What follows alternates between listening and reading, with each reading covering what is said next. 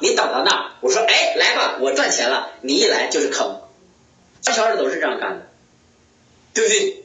说你来吧，我赚钱，其实他没赚钱，你来了之后他走了，他叫解套了，对不对？难道你永远要跟人接盘吗？所以说傻逼接盘，对不对？真正牛逼的什么呢？是开盘，不断不断的来开拓，对不对？不断不断的来进取，不断不断的通过自己与别人的结合，然后共创，这叫共创。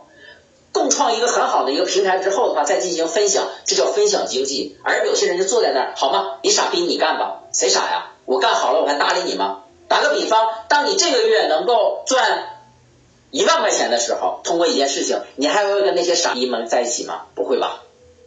最简单的道理嘛。所以呢，这就是我们说的，当一个人不能够明确的拒绝，也不能够明确的接受的人，这个人的思维什么是先看一看，但是事实上这个过程，这个思维是一种非常非常脑残的一种行为，对吧？然后还有一个什么是，他为什么不能明确的拒绝呢？他为什么不能明确的拒绝呢？因为他什么呢？不自信，因为他什么呢？他对自己不自信。